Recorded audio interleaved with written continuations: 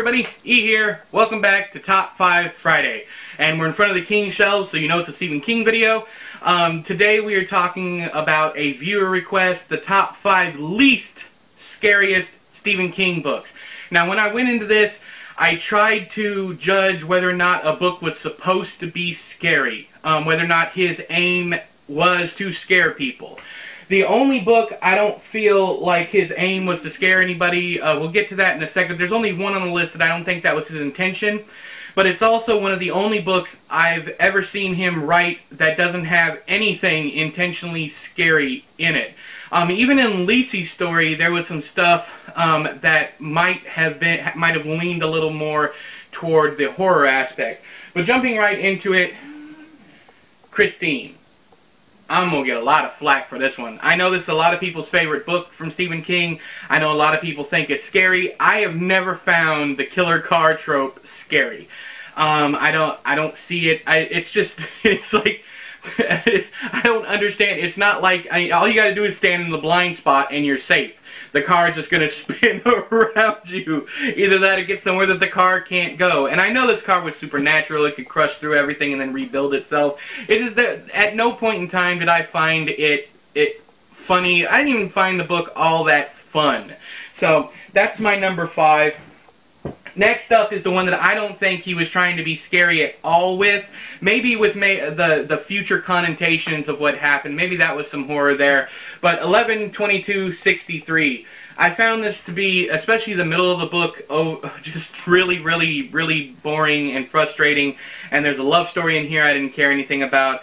But the, uh, the biggest issue I had with the non-scare, there's not enough there's not enough drama in this book. There's there's no race against time, and part of that problem is the fact that he has to wait five years before anything will happen, and he always has he always has the option to reset everything.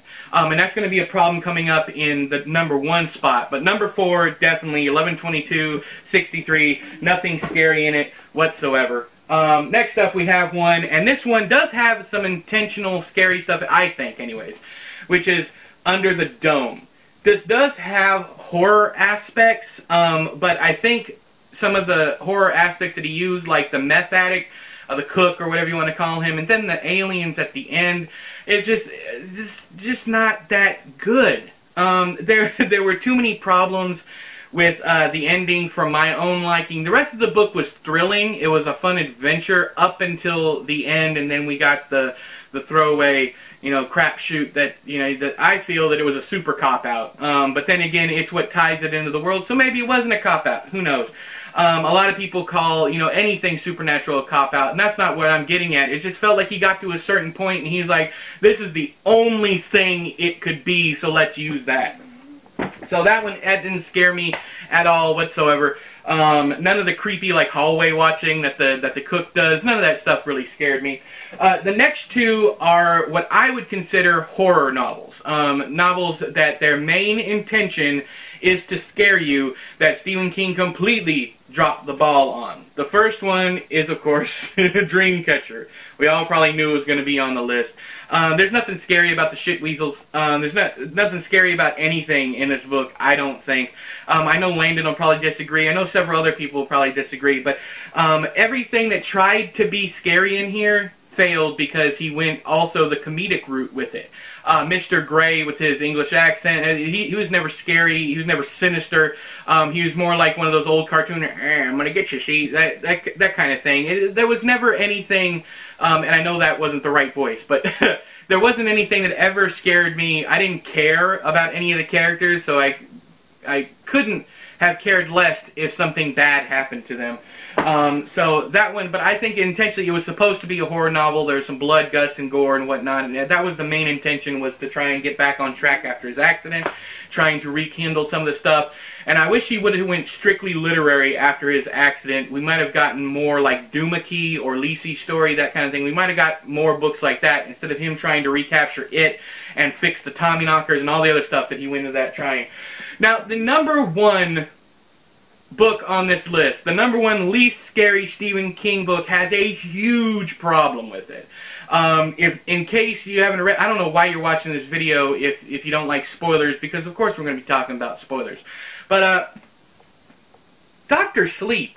I honestly have no idea what possessed him to make one of the main characters so overpowered. Um, Abra in here is I never had any concern for Danny or her or anybody in the book. I had no concern whatsoever because it is established very early on that Abra Stone is amazing. That there is no stopping her, that she can do whatever she wants to. She is the pinnacle of what Danny could have been.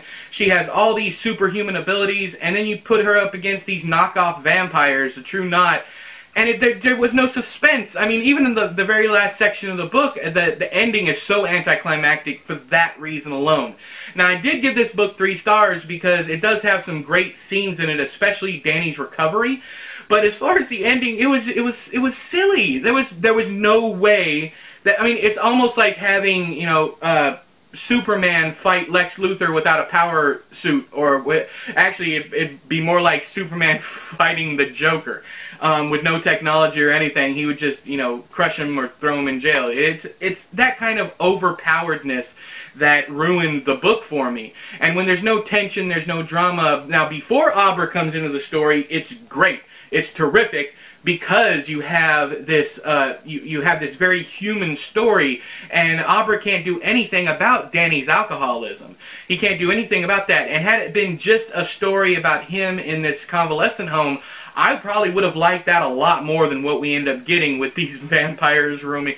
Anyways, these psychic vampires, whatever they are. Uh, Rose the Hat was a crap villain. There's nothing scary. But the scariest thing about Rose is her picture on the cover of this book.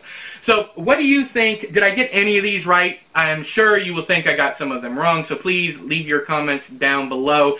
Do you have a top five least scary Stephen King books? I think I have a top five scary Stephen King books, so compare that one to this one, see if you can pick out some of the reasons, you know, some, some of my own fears, what might have made those books scary, what made me laugh these books off. Who knows? But leave all the comments down there in the doobly-doo. Until next time, I have been E, you have been you. This has been another Top 5 Friday. I'll talk to you guys later. Bye-bye!